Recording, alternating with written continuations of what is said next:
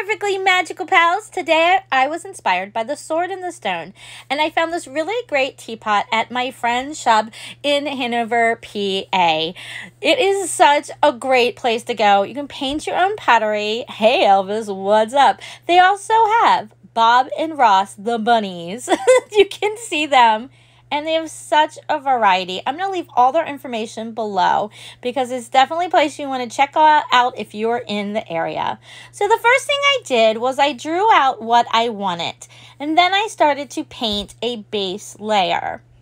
I found a picture off of Pinterest and kind of loosely based what I wanted on that. Then I did a background and I kept adding and layering different colors and I made my teapot a really pretty blue. I love to take the different colors and kind of incorporate lighter hues. Then I took a pen and I wrote down some fun words that are from the song in the movie.